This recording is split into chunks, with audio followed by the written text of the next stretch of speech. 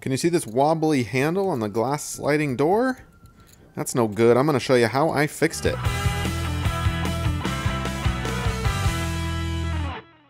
Alright, greetings, welcome to my channel and to this video. We're going to be fixing this glass sliding door. The handle over the years has become quite wobbly, so what's up with that?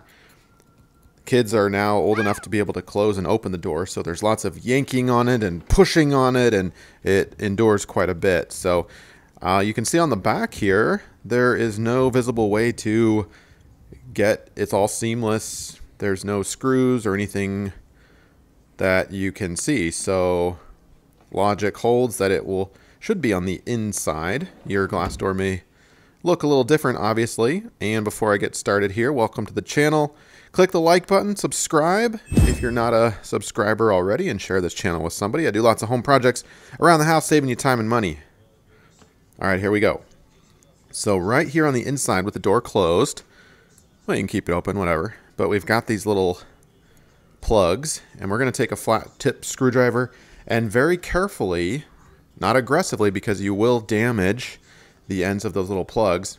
And they are cheap enough where you can just buy replacements if you do damage them. And I'll put links down below for all the supplies and tools that you will need for this job in the description, so check that out. But you can see here, not the greatest of shape, but I'm okay with it. I'm not going to buy new ones.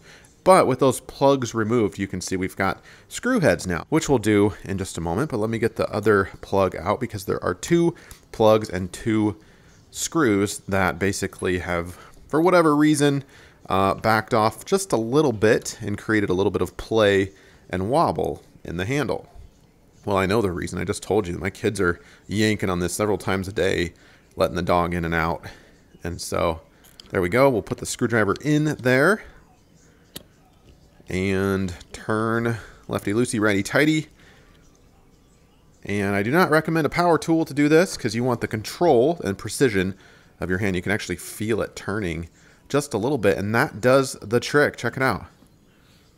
I turned it not even a quarter of a turn, and it tightened it up, sucked it up right to the plastic, and we just take those plugs and put them back. Again, if you order new plugs, you'll have to wait a couple of days or whatever for them to come, but pretty easy job. Hopefully this helped you out. Thanks.